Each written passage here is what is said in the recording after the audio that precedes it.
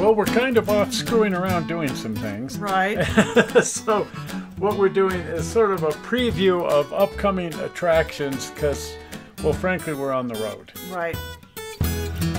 Now, as everybody knows, we've been working on the portal between the inside and outside railroad. Right. And the last thing we showed was cutting the hole, Right. which was pretty scary.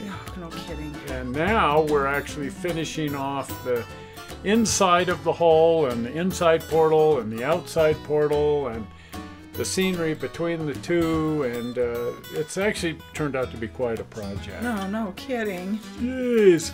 And a little bit stressful because uh, I have no idea what I'm doing. Right. Cutting a hole in the side of a building. and then trying to, you know, we didn't really have a, a solid idea for how this was going to go together, so we've been improvising. Oh yes, I'll bet. It- Yes. It, works for jazz. Yeah, it does, and this is kind of jazz. So this is the outside part of the portal here. And again, this will be a complete upcoming show because actually it's it's mostly finished now. I took some old cedar wood that's been out in the yard and cut it into strips and uh, oddly enough weathered cedar looks a lot like we- weathered cedar. yeah, exactly. And there's better, no better way to weather it than leave it outside. Leave, leave it out in the Leave it rain right and out stuff. there. So this wood's been out there for a couple years, and doesn't it look like it? Yes. So uh, I also set the figure here because it's really easy to lose track of the scale of something as big as a tunnel portal. Uh, but these slats are, are um, 18 inch slats, boards that make this thing up. So they're huge. The whole thing's huge. This is the inside part of the portal, and it has uh, an insulated door that goes from the inside. And then I'm building a, a portal that's kind of based on the portal at the old original Disneyland Railroad, the uh, the Rainbow Caverns mine train. It's also sort of based on a, covered bridge. Oh yes. So it's very, very freelance, but my, my real inspiration was the mine train ride at the original Disneyland. Next up, we have all this broken cinder block outside. And, um, well, I'd always planned on sculpting scenery out of mortar mix. We had Steve do this on the, the old, old railroad uh, back when I had the Garden Railroad back in the 1990s and 80s. wow. And it turned out so neat, I thought, you know, I think I can probably do that Oh, I imagine. and make it work. So this was the first attempt. I just tested it on a little small section here and it worked out great. So I thought, well, I, I can make this work. Because, gee, what could go wrong? Uh, well, Well, well, a lot of things can go wrong, I guess. This was uh, one of those great plans I had. I thought, you know, this pink foam, uh, the extruded styrofoam, extruded styrene, it works so great on the inside part of the railroad.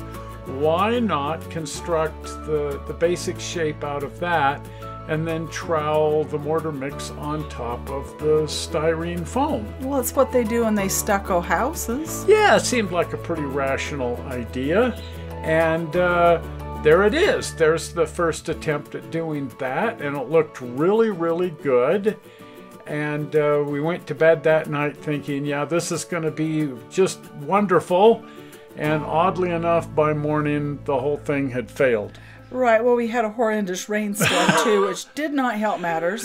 the rain started, so I scored the heck out of it. I had to tear it all apart, scored lines in there, added Gorilla Glue. Well, this will all be covered when we do a show on this.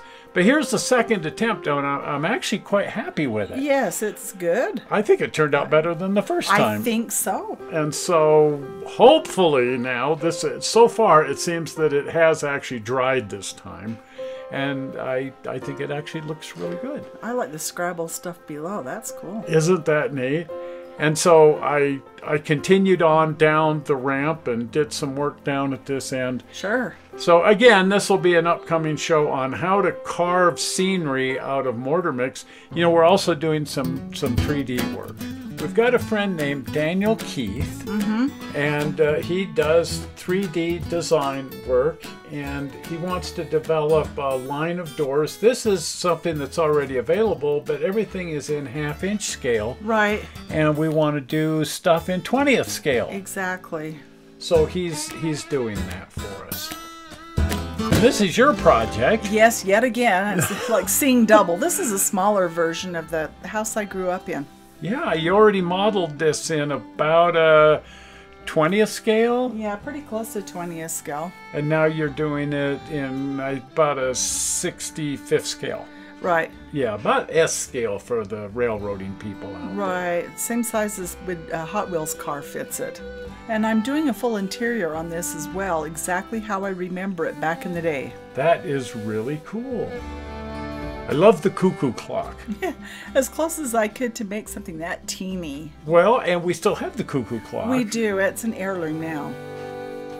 And you're going nuts with this project. Right, almost the same scale right there, but that little room inside of a walnut shell. Yeah, kind of tricky to do an entire room inside of a walnut Right, shell. and today I'm trying to figure out how to put lights in those too uh, that really work. You know, they'd make really cool Christmas ornaments. Right, we that's what I was them on the. Christmas tree. Exactly. I, especially just, I imagine these all lit up. I yeah, I think I can make them light up. I know you can. When it comes to projects, well, uh, no one has projects like our friend Ed Dickens. Yes, he's got a few big ones. He decided to pull all four steam locomotives and the DD40X out and just just take pictures from the man lift. Isn't that neat? They're getting three of these locomotives. That would be uh, the three on the far right there, ready for the move to Silvis. And uh, we're going to follow that move. It probably won't happen until spring, but nobody's quite sure just yet when that's going to happen. Hmm, stay tuned. And people keep asking what's become of Adam Pinalas and his railroad. Well, there it is. Well, there it is. Well, actually, uh, typical of, of a lot of people, he decided to tear the whole thing out Yes, I know that feeling. and start over. And this is one of the start over projects. This is a gondola he's building. Now, his railroad is, of course, seven and a half inch gauge. right, easier to work on. Easier to, and two and a half inch scale. So it's oh. just huge. No nut, nut, bolt, and washer castings here. These are actual nuts, bolts, and washers. Mm-hmm. But look at the construction. Is that amazing? Oh, that's awesome. That is just turning out so cool. So he's working on a couple of different pieces of rolling stock and some wheel trucks. In the meantime, he's also rebuilding the whole railroad outside. In fairness, he hasn't torn the whole thing out Not quite. just almost. But um, he had already started on the giant waterfall over here. But he's working on the plate girder bridge here that goes in front of the waterfall. He's redone part of the waterfall and he's preserved a small amount of track going over to this trestle, and the trestle was there. That's so neat. Everything else has been torn out Yes. and started over.